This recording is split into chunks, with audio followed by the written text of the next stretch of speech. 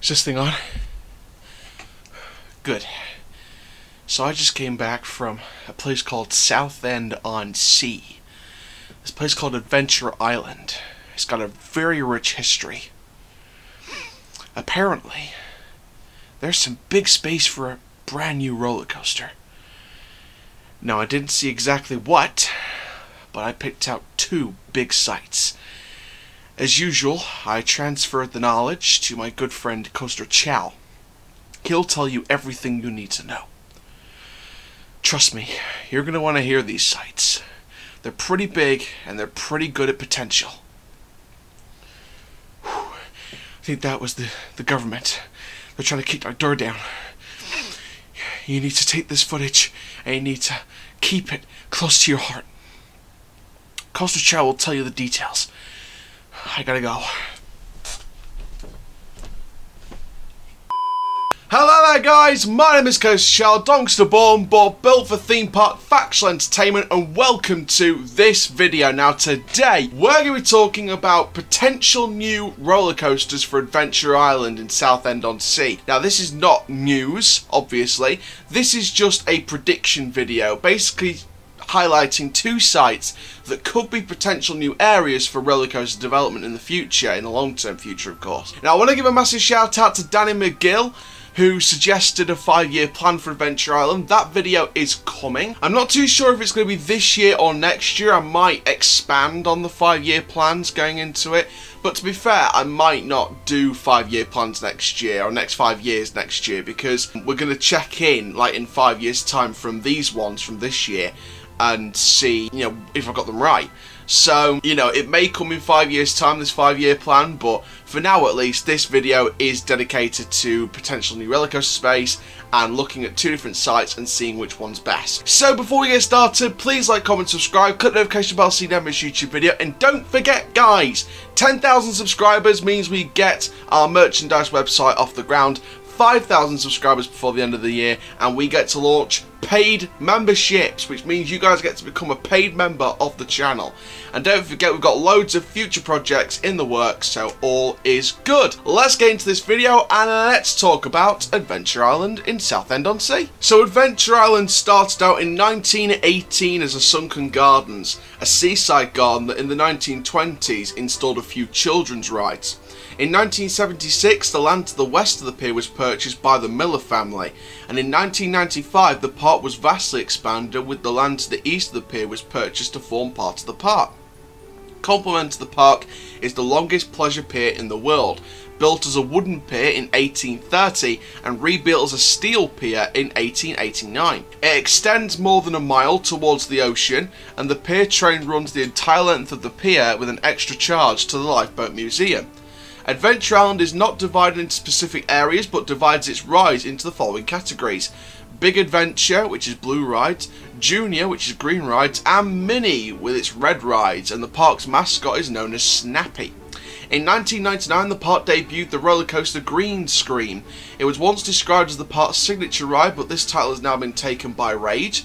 The second roller coaster at the park was Barnstormer, which opened in 2000. The third was the Mighty Mini Mega, which opened in 2003. Kiddie Coaster opened to the public in 2011, but before that one was Rage, which opened in 2007.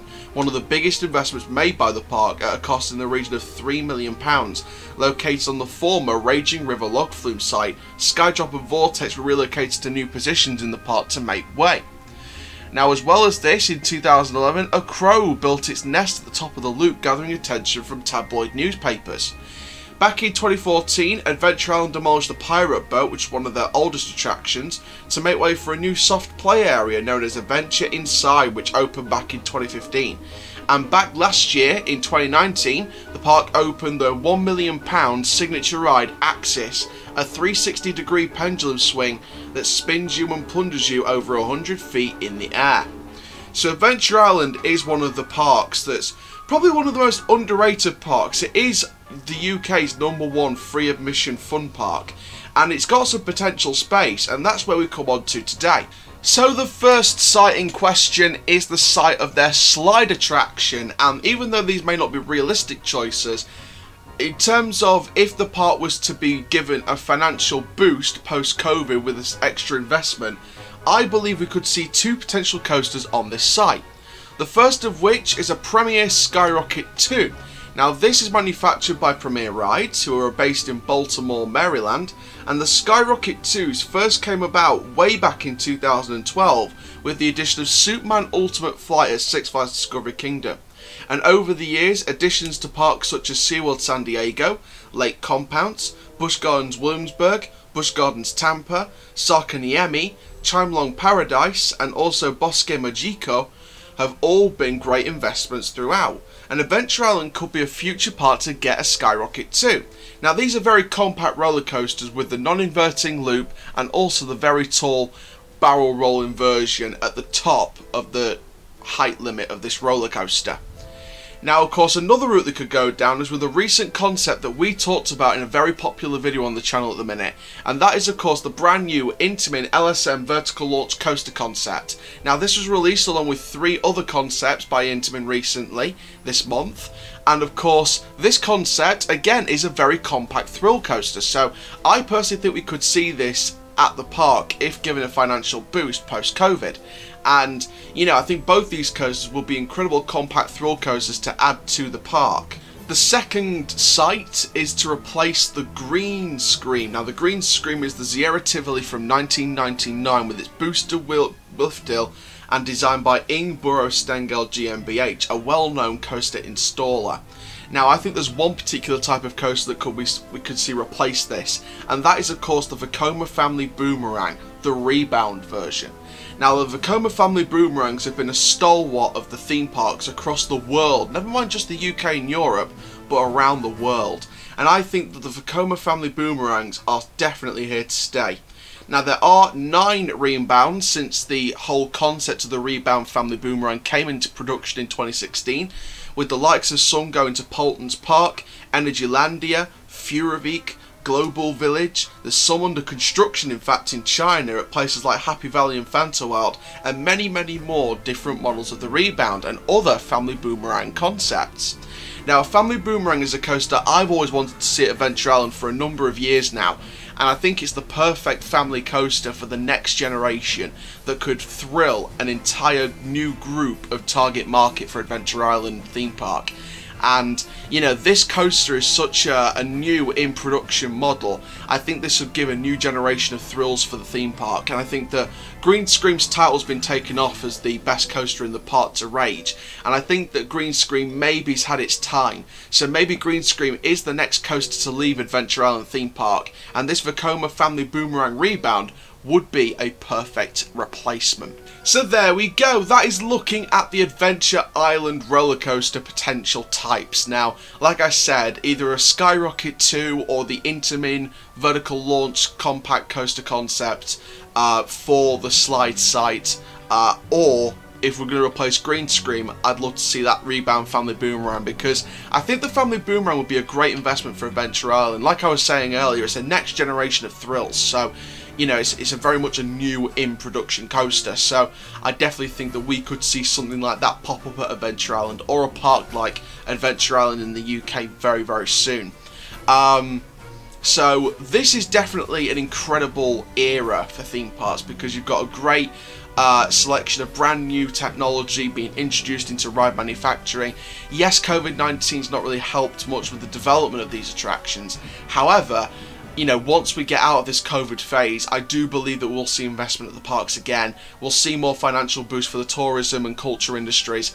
And, you know, this is one of those parks that I think should help receive a financial boost. I think that, you know, back at the start of June, there was a report that the owner actually came out and said they're concerned about the park's future uh, post-COVID. You know, we want they want to reopen. We, you know, they didn't know when.